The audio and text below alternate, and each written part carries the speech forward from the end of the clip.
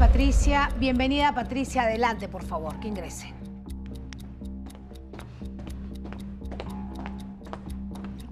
Hola, Patricia. Buenas noches, Andrea. Buenas noches. ¿Cómo estás? Bien. Gracias por estar aquí. Siéntate, por favor. Te acabo de ver actuar. Es lo que más te gusta. Sí, sí. Tú sabes que eh, me hubiese gustado presentarte de otra manera y que esta historia sea distinta. Sobre todo por los sueños que tienes, ¿no? Mm. Pero está frente al hombre al que toda tu vida, durante estos 18 años, le has dicho papá y resulta que ahora él ya no sabe si es tu padre. Mm. ¿Lo, su- lo suponías algún día? ¿Pensaste que esto podía pasar o es una sorpresa para ti? Es una sorpresa para mí, Andrea. La verdad es que eh, yo he llegado a compartir con mi papá de alguna forma, ya, quizás no tantas veces al año, pero una vez al año o un cumpleaños o una salida por ahí, siempre ha habido. Y jamás ha habido la duda de, ay, tú no eres mi hija, o no te quiero, o más allá, o de repente yo dudo de, mi- yo dudo de tu mamá, o nunca les he querido. No, jamás, jamás. Y por ¿Quieres hablar, sorpresa ¿quieres de mi hablar papá. con él? ¿Quieres hablar con él? Sí. Y Eso es lo que nunca- Escucha. Díselo. Papá, mira, em, yo he preferido conservar de ti recuerdos los más lindos que he, he logrado compartir contigo para que esto a mí no me duela, ya, porque de que me ha dolido lo que ha A pasado. mí sí me duele, hija. Sí me ha dolido, papá. A mí sí me duele, hijita. A mí sí me duele mucho. Me duele hacer esto. Llegar a esto a mí me duele. Yo, yo le he guardado esto en mí. Eso nadie, nadie lo sabe.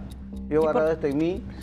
Pero a llegar a estas alturas, donde que tu mamá a mí me quiere ver preso de una u otra manera, ¿ah? eso, eso es lo que a mí me, me incomoda. Por me quiere preso esto. 40 mil soles que le pague. ¿De dónde voy a sacar si yo gano mil soles? Mil cien soles. ¿De dónde voy a sacar 40 mil soles para darle? Imagínese. Papá, ¿Quiere verme preso, Papá, hija? tú sabes que a ti... Mírame la cara y dime, ¿quiere verme digo- preso? No, papá, o sea... Pero tra- pues, tranquilo hija, que, mira, papá, te amo a ver, mucho, les he amado, papá, no les he dado una grandeza, no les he dado una casa, un edificio, no les he dado tanto dinero, pero les he dado, nunca les he hecho faltar. ¿Qué has A tu dado? cumpleaños, a tu Navidad, comprar tus ropas, tu mamá me decía, estás llevando una, una miseria, una baratija. Pero así llegaba en ti, en ti, con mis regalitos, que llegaban con tu muñequita, con tu pony, para hacerles ale- alegrar a ustedes, porque son mi vida. Hoy en día Papá. me niega que le da un sol, que, le, ha- que le, no le he dado nada, me niega. Andrea, ¿cómo es posible que pueda Pero ser una que, persona lo que así? yo quiero tratar de entender es cómo si tú has dudado, resulta que tu hija ni siquiera se había enterado de que tú dudabas. En algún Porque momento tú tienes, una, hacer- tú tienes una hermana. sí, Ya tienes una hermana de 16 años. Y en algún momento, porque esto también podría haber pasado, por eso te quiero preguntar, ¿tú de pronto sentías que habían diferencias? Que, porque tú no dudas de la de 16. No. También dudas. No, no. No, no dudas. Entonces, ¿en algún momento tú sentías que él era más pegado a tu hermana y no a ti? ¿O sentías que él quería, la quería más a ella que a ti? A mí, ¿Sabes por qué yo creo que mi papá ha consultado, ha pedido ayuda para una prueba de ADN? ¿Cómo ha sido? Porque es que cuando yo cumplí 15 años, yo, claro que quería ir a una universidad. Entonces, para ir a una universidad, eh, si tú no tienes plata, tienes que postular a una estatal, entonces tienes que preparar.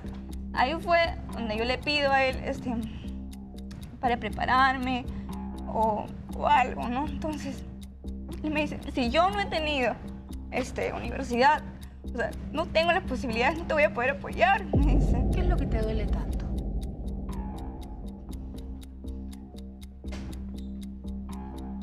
Me duele que, primero que lo haga ahora, o sea, ya, después de tanto tiempo que lo haga.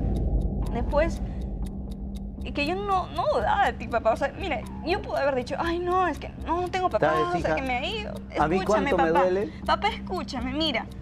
Mira, yo he tenido que venir acá a pasar por un montón de procesos solamente para que tú te salgas de la duda, para que por fin puedas dar algo constante.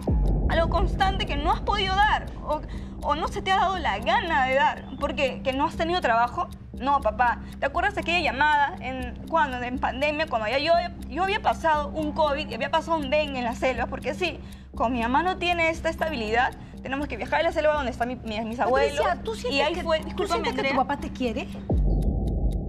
Sí, yo, yo siento que tú me quieres, papá, pero o sea, Pero hija, mira, yo, no sabes yo la no forma quiero, de yo te demostrar amo, amor. hijita. No, papá, yo te amo. escúchame. ¿Sabes cuánto No, me no, duele no, no, poder papá, darte no, quizás no, una, una, no. una profesión, No. darte una, una No, universidad yo como sé que no quizás te te, lo duele, mereces no, yo sé como que no te cualquier duele, Pero estás dudando, por eso ¿Sabes pedí un resultado, papá, un porque- examen de ADN. Eso es lo que me Andrea, parece Es que sorprendente la en esta duda, historia. es que Andrea, la duda, Andrea. ese es entre ella y yo. Ella me sembró esa duda. ¿Quién el sembró? ¿La mamá? La mamá. Pero a ver, han pasado ella no- 18 Mi hija no años, tiene la pues.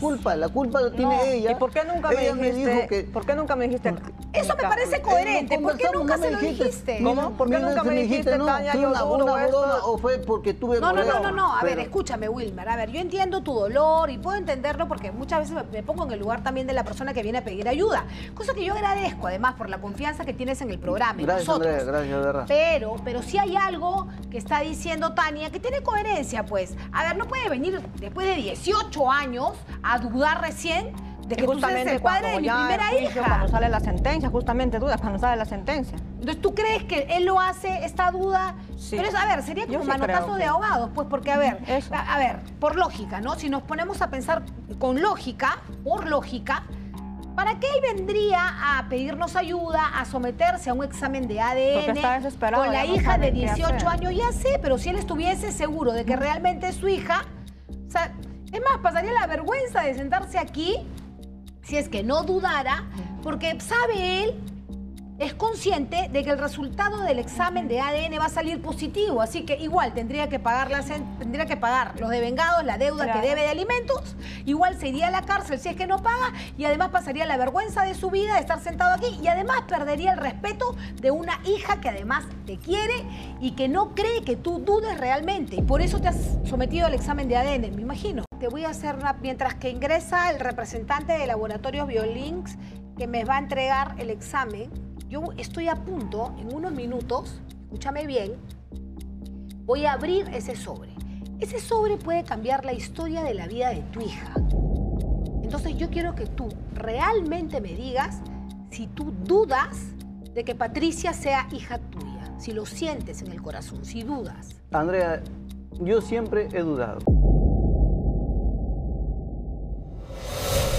Y Patricia, tú sabes que mi hermano siempre Tía, te ha dado. Tía, vivimos al costado. Siempre te ha dado. Vivimos tía. al costado. Tía, Vecinos, yo te considero como mi familia.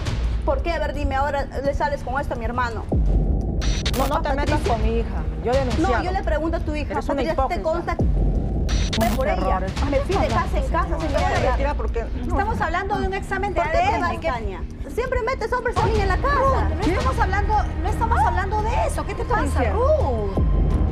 Dime una cosa, Wilmer, porque con un, con un secreto, Nunca, ¿no? En un secreto familia, tan, tan fuerte, con un dolor que tú has estado cargando, con una duda, imagínate, no saber si eres el padre de, una, de una mujer que ya tiene 18 Como le digo, años. Andrea- ¿A quién se lo, tienes, se lo tienes que haber contado a alguien? Porque no creo que te lo hayan callado y guardado para ti solo. Como, como le digo, Andrea, eso ha sido, como dice, eso ha sido mi secreto de mí. Ha venido a, qué? a humillarme públicamente con sus mentiras, a decirme, déjame- mira, deja- hasta su hermana, ¿cómo, cómo dice? Que metió hombres a mi ¿Qué casa. le di? Tania, te voy a preguntar por última vez, voy a abrir el sobre. ¿Tienes alguna duda de que Wilber sea el papá de, de tu hija? Ninguna duda. Ninguna duda. Patricia, eh, voy a abrir el sobre. ¿Qué le quieres decir al hombre que ha llamado papá toda tu vida? Ya no quiero saber nada de ti, papá. La última vez. Lo que determina Laboratorios Biolinks es lo siguiente. Wilmer Pulcarima Rodríguez